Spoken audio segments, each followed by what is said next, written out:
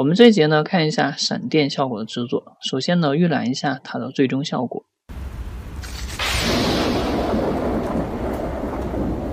我们还是先导入一下素材。那这边呢，我们导入到第四十一的实拍的视频。好，现在我们来新建一个合成。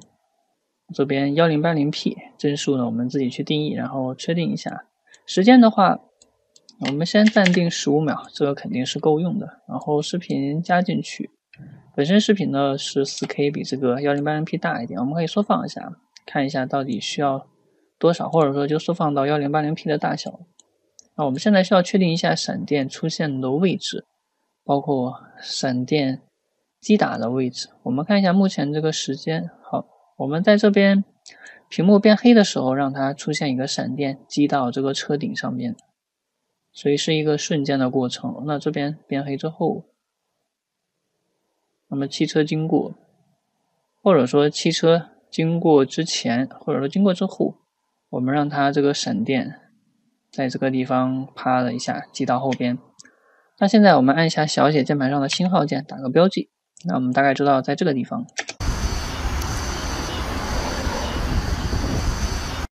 然后我们简单的做一下闪电，闪电是非常容易做的。这边右键新建纯色图层，我们叫做闪电。闪电的话，直接颜色我们就黑色，确定确定。那我们在效果预设中搜索一下高级闪电，直接加入进来。啊，我们在生成中追加一下。它默认呢会出现闪电的形态，你可以调一下闪电的头和尾啊。当然，为了看到变化，你可以调到比较亮的区域。然后现在的闪电形状，我们看到是分支是比较多的，我们简单微调一下。那我们展开它的发光设置、核心设置。那我们可以把发光的不透明度先关掉，因为闪电真实的闪电呢基本上是没有颜色的，你看到的就是这个样子。所以我们把不透明度这个发光给它关掉。当然，有些场景中。不免呢有一些彩色的闪电啊，这个就是创意方面的东西了。我们真实的话就关掉，然后发光没有的话，那我们下边的这些衰减啊、这些分叉啊，就自己尝试去调整。你可以看一下，一般来说，现实物理中的闪电基本上就是一个叉，可能我们加一点点，加个百分之一、百分之二的，基本上就够用了。这个根据实际情况而定，比如我加一个。三，那我们下边这个衰减可以适当的少一点、多一点，这个都没有太大的关系。我们看到这个结束的地方就是衰减的地方，然后呢，调一下它的传导率，这个参数可以让它随机再发生一下变化。怎么好看怎么调，毕竟这个效果是随机的。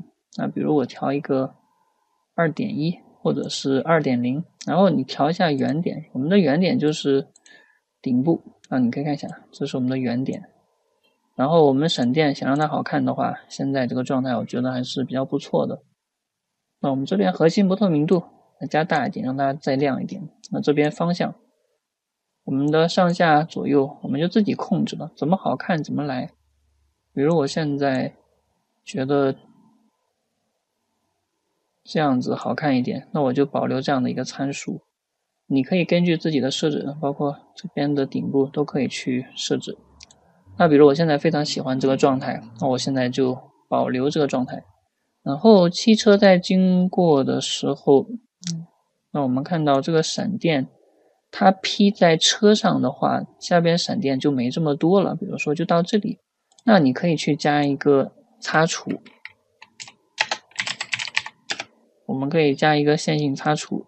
这边加到下边，那调一下角度，我们角度就往上一点，调一下过渡值，啊，比如说擦除的位置在这里，你的闪电就劈到这个地方，我们这边给它加一点羽化，我们可以看一下 P 的这个边缘，那可能是现在这个场景拍的有点太近了，我们地面没有拍的特别的多，那我们来换一个场景，本来闪电在击打下来之后，肯定要留些。空余的空间给它，然后呢，再去做一点衰减的投影之类的元素。那这边呢，我又补充了一个地面的视频。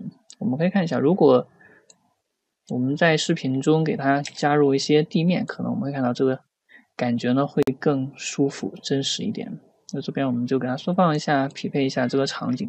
那你的闪电击下来之后打到地面上，再有一些反弹或者是过渡，比如我们让它击打到这个水面上，然后在水面上产生了一个这种投影啊，或者是折射，这个效果可能会更好一点。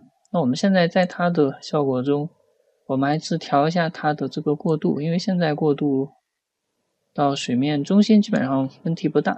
这边羽化我们就自己。差不多控制，稍微给一点，跟水面融合一下就好。那现在我们在这个闪电图层上，下边是原始视频，闪电层上是两个效果。那我们把它预合成一下，我们可以进入到图层预合成闪电合成。那我们把闪电复制一下，Ctrl D 或者 Command D 复制一下，比如下边这层我们叫做闪电投影，啊，这个是非常灵活的。那么变成投影之后。我们把它开启一下 3D，这样子，我们在这个 3D 层上，这个锚点我们调一下，因为你在旋转的时候用锚点工具，你要把它调到中心。那么基于中心去旋转，展开它的变换的参数。那我们可以基于它的位置方向，这边你可以在这个方向去旋转，X、Y 或者是 Z。那你需要什么样的这种方向？比如朝向屏幕的，还是说稍微的这样子倾斜一点？比如说朝向这边竖一点。但是这个闪电作为投影的话，肯定就太真实了。那我们需要弱化一下。所以现在在它的这个闪电的地方再去加一点衰减。啊，注意，现在我们是在它的图层外侧去右键，我们进入到它的效果。那这个方向我们还是让它偏水面一点，毕竟闪电的投影如果进到水中，它会有这样一个衰减。那我们现在已经有了这个擦除，我们把这个闪电再合成一下，我们 Ctrl If Shift C，把这些效果都移动到内部，我们叫做闪电投影。等于说你现在是一个投影层，我们对它再去右键效果，那这边标的多，那我这边再重新加一下线性擦除。这边需要调一下它的角度，调一下过渡。那我们需要看到你现在哪个角度能过渡出来？那大概一百八差不多，刚好可以过渡出来。然后这个可能不够，我们再调一下，大概比如说这个范围，然后调一下羽化，让它有一个衰减的过程。好，我们可以看到它是一个由强到弱。这个角度我们自己再把控一下，能看到这样的一个像这种影子一样的变化。那这个投影本身还是稍微有点比较强烈的。那我们现在稍微加点模糊，高斯模糊、方块模糊都可以。搜索一下模糊，那我们加一个方块模糊看一下，这边给它加一点数值。当然你不要加的太高。那我们现在再给它加点置换，让它扭曲一点。很多效果呢，在我们不断的制作中呢，会发现它是经常会用的。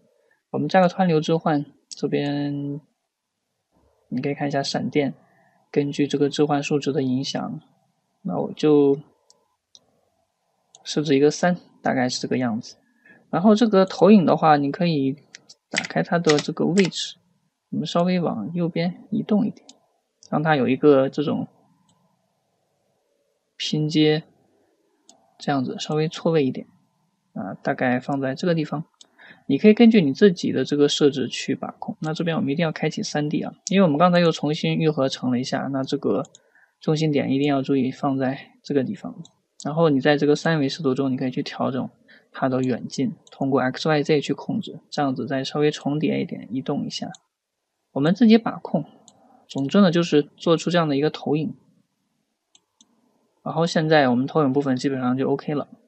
那这个投影的话，模式可以改成相加，它会跟水面融合一下，看起来更亮一点。那我们这个可能有点太亮了，稍微降低一点不透明度。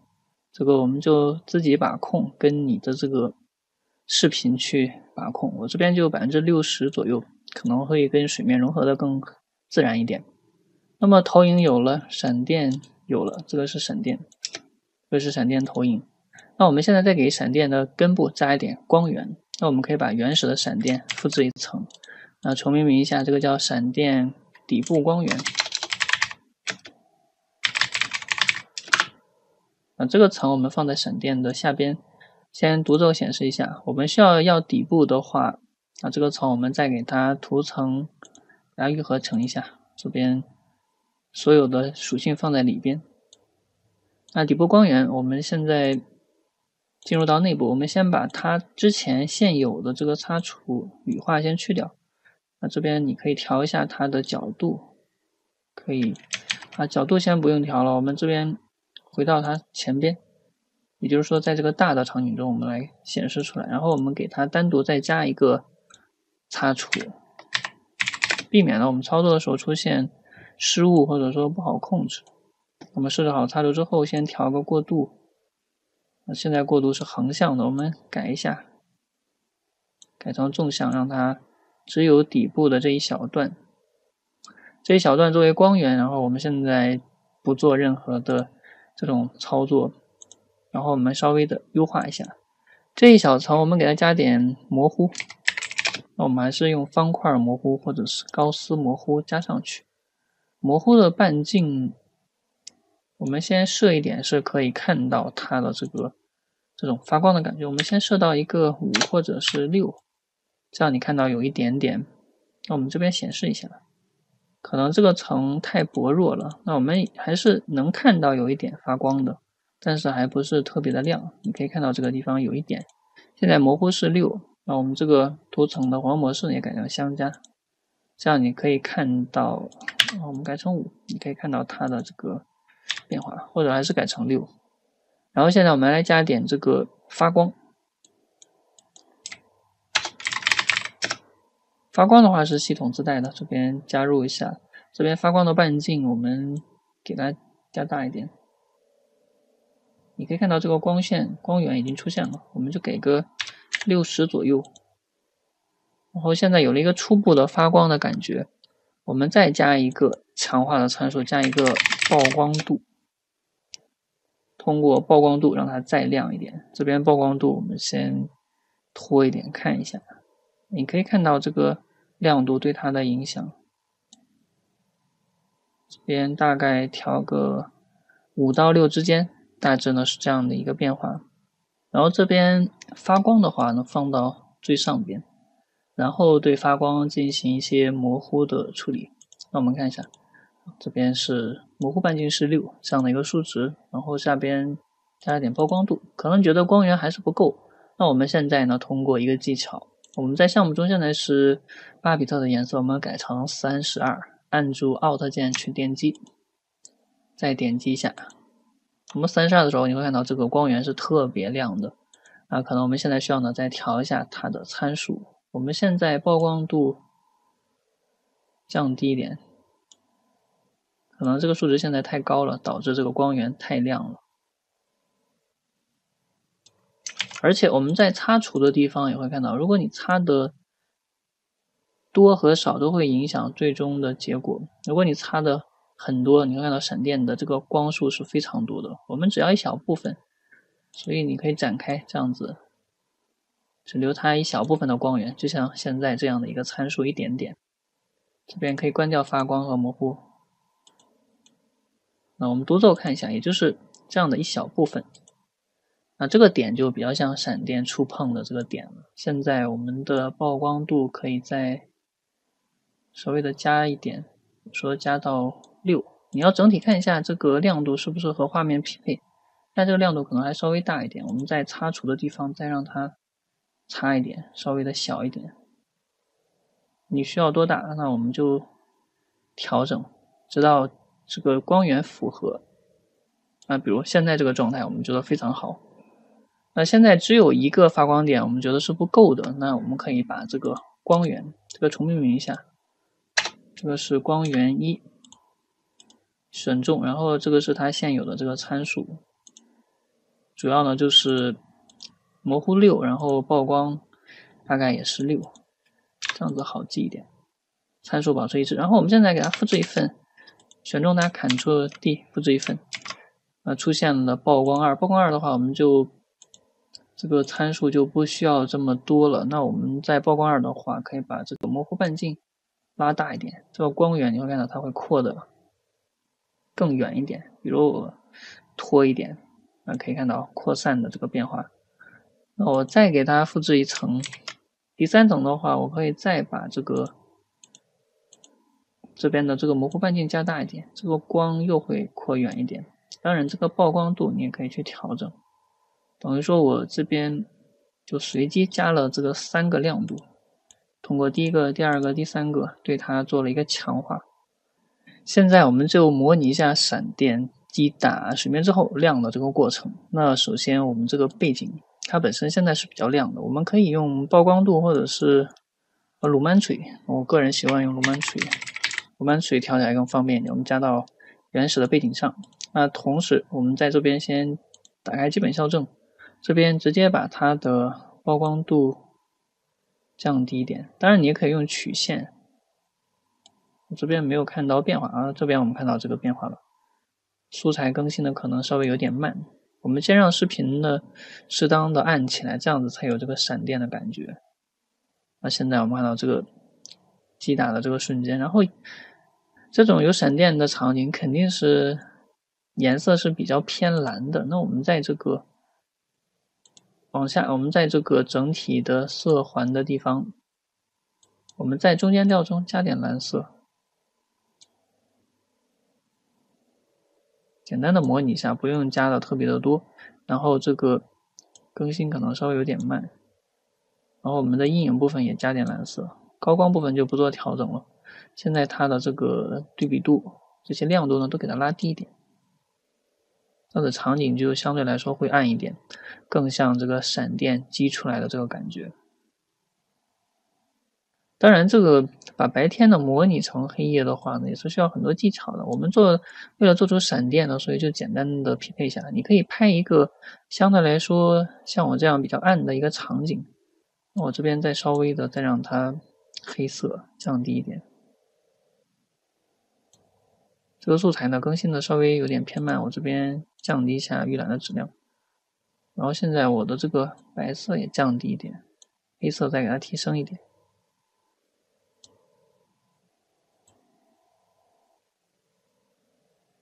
有对比度强一点。那这样子这个闪电可能效果会更加强一点。好，大概呢我们就先降低一下背景。然后你现在要做的就是说，闪电在一击打的瞬间，它突然间很亮。我们来看一下，我们找一个位置，因为现在闪电是固定不动的，我们就随机选一个位置，因为现在是一个固定的机位拍摄。比如我就在这个位置，闪电击下来之后，我让它亮起来。那我需要把原始视频复制一份，现在它还是这个比较暗的视频。那我们在上边。给它加一点设置，我们加一个遮罩，用亮度遮罩一下。我们可以搜索一下遮罩效果，这边选择设置遮罩，加到上面。那么遮罩的范围我们就选择亮度，然后我们再给它加一个曝光度，这边加入一个曝光度，这边没有加上去，我们再拖一次。哦，这个很奇怪啊，我们这个效果加不上去。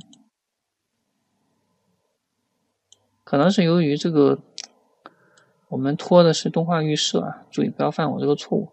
这边曝光度的话，你调整的话，你可以看到它会对场景这种比较特殊的点亮过程，你可以模拟这种突然间这种闪烁的这种科技，这种比较魔幻的感觉。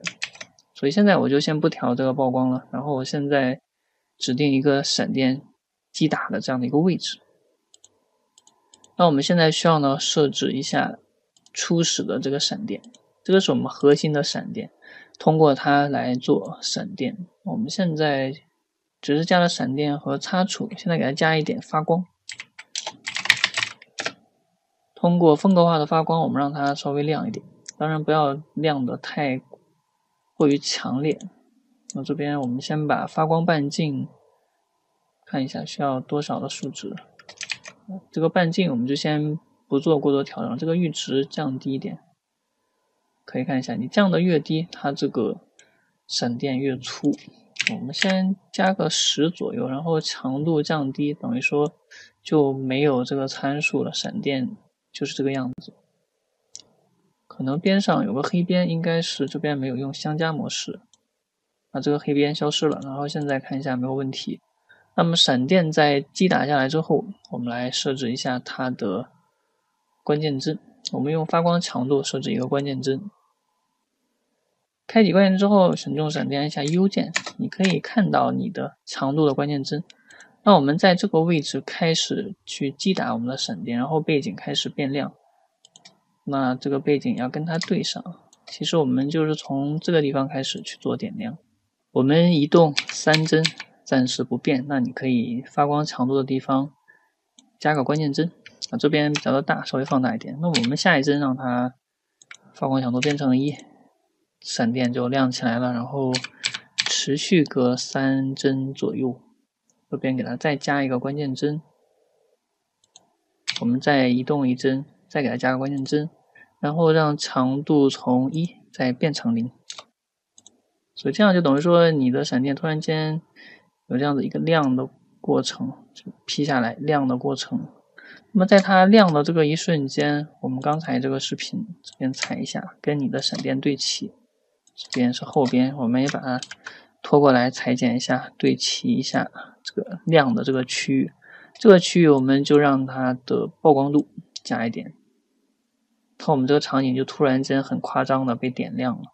那你可以设置一个，比如说这样子，设置一个五左右。我们可以简单看一下这个闪电。当然，我们这个声音可能说不太适合这个场景，暂时关闭一下。稍后我们再去做一些配音，然后你的闪电在击打的时候有这样子的一个过程，啪的一下。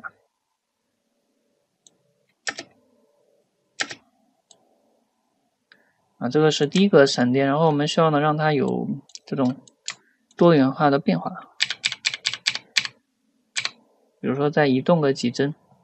这边继续选中我们的闪电，加入我们的发光强度的关键帧，再追加一个。我们发光半径也给它加个关键帧，选中闪电按下 U 键。这次呢做一点不一样的变化。现在呢是关键帧不变，比如说我们移动三帧左右，发光强度加大，你可以做一个更粗的闪电。那这个刷新可能有点慢。发光强度也可以稍微加大一点。那你可以看到，我们现在等于说做出像这种光束一样的大的闪电。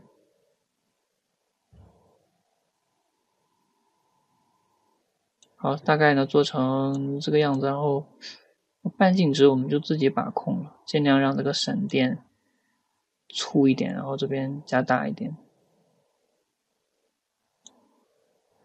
我们下一帧，我们让它恢复，之前是十和零，这边再恢复一下，所以它有这样的一个闪的过程。当然，这个地方在闪的时候，你的这个视频复制一份，让它移动过来，重复使用一下，可以看到这样子的一个闪的过程，然后前面这样子的 P 的一个过程，闪的一个过程。这个就是细节方面的东西了。然后，这个在闪的时候，我们这个层上这个鲁曼锤可以关闭一下，因为我们这边设了曝光度，根据你视频的不同，我可以让它闪电击中的时候，场景像这个样子亮起来。啊，这样子就比之前的这个蓝色呢要好一点。突然间闪电击中亮起来。然后这边也是击中，那我们这个鲁曼锤也给它关掉，这个闪电更大，所以说曝光度再大一点，这样的一个过程。这边我又重新调了一下背景，那我刚才是鲁曼锤做了这样的蓝色，我们这边就直接加个鲁曼锤，用曲线降低一下亮度好了，这样子可能说这个暗一点的画面，可能说看起来更像这个。闪电击打的这种感觉，然后我们现在闪电呢裁剪一下，你一开始是没有闪电的，然后它这样子突然间出现闪电，然后是击打，然后到闪电完成。闪电在消失的时候是有一个溶解的过程，所以我们再加一个块溶解它，这边加个过渡完成到这里，然后在它后边慢慢消失的时候，来加一个零到一百。所以你会看到现在最后呢，它是逐渐消失的。我们可以看一下，它不是一下子消失，它会有这样子慢慢从清晰到这种模糊，慢慢的。溶解的这个过程，所以它是一个瞬间的过程。那这些都是一些细节，我们看到清晰，这样子慢慢的过去。所以现在闪电基本上就完成了。但是闪电的灵魂呢，就是说它还要有一个震动，你不可能说闪电震下来没有任何风吹草动。所以我们在很多电影中都会看到，闪电在震下来的时候都是砰的一下，这样子有震动，有发光。所以这边呢，我就把合成一整个嵌套到一个新的合成上，然后把闪电中间的这个部分单独切出来。